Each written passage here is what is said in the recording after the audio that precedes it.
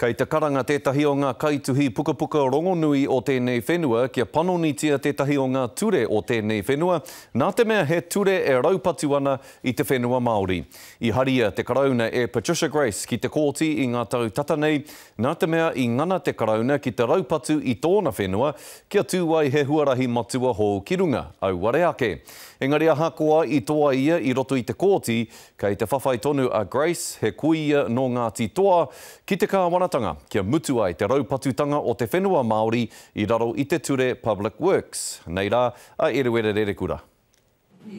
Hei tā tēnei kaituhi ki te Komiti Whāiti Māori, he tino whawhai tēnei ki te pupuri ki tōna whenua Māori. to highlight um the difficulties in that we'd had in um keeping our keeping our land from having a an expressway through it.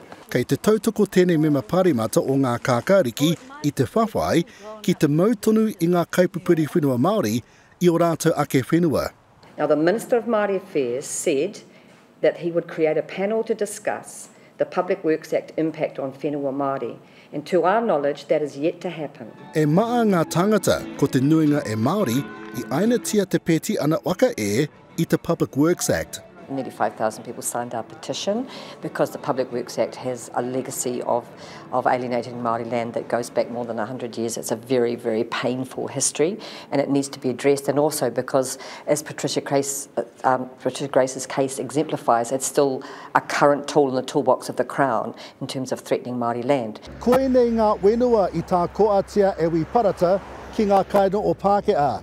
A akoa i wa kai te kōti ki te tono kia pupuri a Grace ki tōna whenua tūpuna, ei tāna, Kei te raupatu ia tonu i a nga wenua Maori i raro i taua ture. Even though I'm glad that we went to court and did what we did, in some ways, just quietly, it was a little bit of a hollow victory because through having to go round my land, they had to take other land and that got taken by the Public Works Act. I tā te Minita Whakawhanake Māori, e aroha ana ia Ki te tangi a te kuia o Ngāti Toa.